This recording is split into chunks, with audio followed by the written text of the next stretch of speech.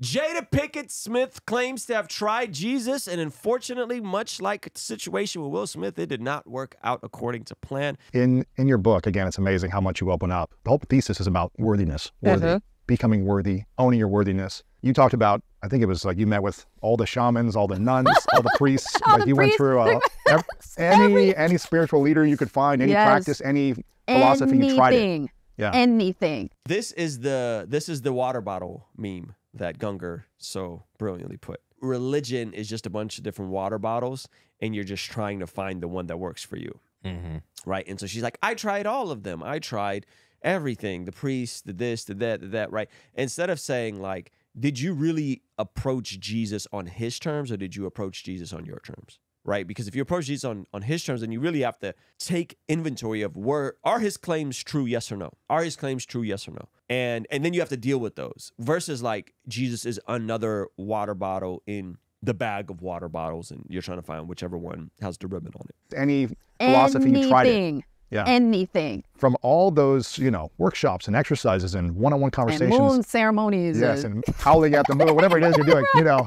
What was the biggest awakening for you with all those experiences? What was the, the reoccurring theme that kept kind of whispering or speaking to you as a reminder of what you needed to know or hear? I knew that there was a higher power. I knew that. I didn't have I mean, James says that like even the demons believe that there's one God and they tremble. So th- that doesn't say anything to me. Like, okay, great, you're not an atheist. Okay, like that's that's the bare minimal. You know what I mean? Yeah, yeah, yeah, yeah. like, all right, cool. Like She's like, I came to the conclusion that that there's a higher power. Okay, we get it. There's a higher power. Okay, now listen to what she says next. the rela- I was like, I just needed to figure out how to get access to it. I know it's there. how to get access to it. Now, I don't want to ascribe intent, but it almost reminds me of the story in Acts where they see the power of the Holy Spirit and then the sorcerer asks how he can buy it, Mhm. right? Like, let me get, I, I want this thing oof. instead of like, instead of getting access to it so it serves you, how do you serve the higher power? Mm. right? Instead of it being a utilitarian, how do I get this to benefit me? Let me serve it because it is the source of all wisdom, knowledge, and truth, right? God is the source of all. So yeah, it's just it's just it's just a very it's a little it's a it's a Western. I am the center of the universe. The world revolves around me, and therefore I need this to serve me instead of serving God. It's it's go ahead. It's it's, You it's, know. it's very common though. This sort of language is very common. Studied the Bible for three. I'm talking about backwards and forwards. Really? I studied it from a historical Uh-huh. point of view. I studied from as a theologian. I studied. I tried. Hold on, hold on, hold on, hold on, hold on, hold on, hold on. Jaded the th- the theologian. I studied. I I put on my theologian hat. She started from she she's why do I not believe her? I opened up Got Questions. I I opened up Lo- Logos, and I, I got into the Greek. Did she did she I did the Bible study by Zach Windahl. right? like what is what do you mean you studied it backwards and forwards? I don't listen. I don't know anybody that studies the Bible backwards and forwards from a historical point of view and put on your theologian hat and comes to these conclusions about the, the universe and, and the world. Yeah, she did maybe a book. And is this the hyperbole that like most celebrities talk with? It's gotta be. It's gotta be that that that Will Smith hyperbole, the Jada Pinkett Smith hyperbole. Ugh. yeah, maybe she did though. Go ahead. Maybe she. Finding those like the mysticism of Christianity, which I'm still into. Of, Sure. of course, of course, you're still into the mist, the, the, the new age aspect. Of, of course, you're still into that. I was like, but I don't know God. Wow. Like I don't have a personal relationship with God. Like I'm not God. I'm not feeling you. You didn't feel like connection. oh, Darkness. I'm not.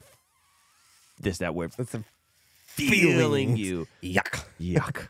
Didn't feel the connection. I understood how where Islam was created, Judaism, Christianity, Sufism, Sikhism, you name it.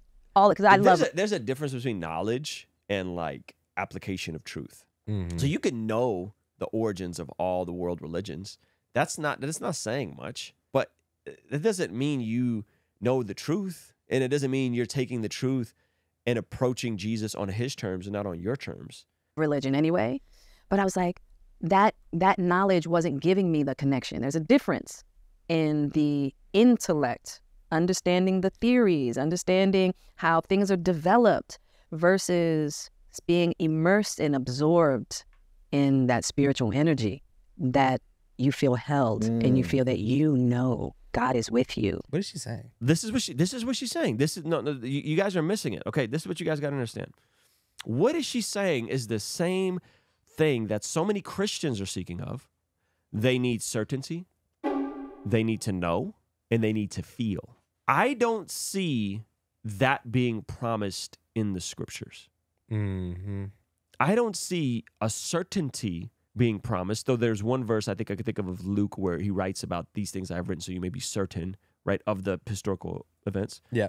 I don't see a knowing, and I don't see uh, what was the last thing? Certainty, knowing, and feeling. Mm. Right. The the whole point of following Jesus is you lay down your life. He who lays down his life gains it. He who loses life gains it. So th- this, but this, but this is prevalent in Christian circles Yikes. right? You need because faith is not one. Faith is not certainty. So some of you guys are, are confused, and you think that you need certainty. You don't need certainty. What you need is faith. Faith is a confidence spectrum. I have enough faith that Jesus is who He says He is, and the Bible is reliable. I have enough confidence in that that I'm willing to follow it, and because I'm willing to follow it, over time, God shows Himself through his hand in my life through answered prayers, through just the way he's orchestrated, the way I, I do things his way, even though I want to do things my way. But when I do things his way, things align. That even if I fall and fail and I struggle and I suffer, things still work out, right? And so, this idea of certainty, certainty comes in hindsight. Certainty comes after following Jesus and being confident and placing my faith in him. That in hindsight, I look back and I'm certain that Jesus is who he says he is. Uh, but, but but initially, it's just a leap of confidence, right? A leap of faith. It's a it's not a blind faith because there's enough there to believe it. And then the second thing is this this knowing, this knowledge, this consistent pursuit of I need to know. You don't need to know. You want to know, and there's nothing wrong with knowing, but it's the same deceptive thing that happened to Eve in the knowledge you uh, in the garden. You will know uh, the, the difference between good and evil and be like God. It's it's it's Gnosticism. It's a desire to be all knowing. All I, I need all information. And the and the third is the feeling. Now you got to feel. What what if God doesn't give you emotional mountaintop moments? Or what if you have an emotional mountaintop moment once or twice at the beginning of your uh, journey and, and, and he kind of allows that to happen so you have that jolt but then he that, that, that, that's not there to sustain you what's there to sustain, sustain you is you pressing into jesus and continuing to walk with jesus and over the long haul the relationship is less of mountain high i'm overcome by some weird energy which sounds awfully demonic if i'm going to be honest with you but it's more of a subtle whisper like it's like the truth is quiet because when the truth is the truth, it doesn't need to yell at you and scream at you, and you need to fall on the floor and convulse and have all these experiences, right? Mm. And so I think what she's getting at, unfortunately, is a lot of the folks who deconstructed, deconstructed for these exact reasons certainty, knowledge, and feeling, right? The, the feeling of I don't affirm people and they don't like me and I don't want to be liked, Mm. right? Th- th- this is so spot on what where a lot of our and this stuff is not promised to us in the scripture. I don't know who lied to her that these things are, which again ma- frames this as this is really about you. This ain't about God. This ain't about Jesus. This ain't about the pursuit. This is about you and what you feel like and what you want. You feel a sense of peace. You feel peace and you feel like, I don't have to do this alone. I don't have to do this alone. And on top of that, there's so much more going on here than I could even imagine. Right. You know what I mean? And okay, God, I'm going to put my trust and my faith in you. It took me till I was 40. Wow. Hopefully that's helpful to you guys. I think that might save a lot of you guys some some heartache. We see according to the Bible that prayer is extremely important in terms of us being transformed from the inside out when we get aligned with God's will. For the Christians watching this channel, I want you guys to implement these spiritual disciplines in your day-to-day life. And the only way I've been able to do this consistently is through writing down my prayers in a prayer journal that does a few things. One, it allows me to reflect and come to God humbly and ask Him to move on my behalf. And two, it allows me to document my prayers, which ultimately help me remember the very things that I was praying for and see the hand of God tangibly in my life when He answers them. So I would urge you, consider writing down your prayers.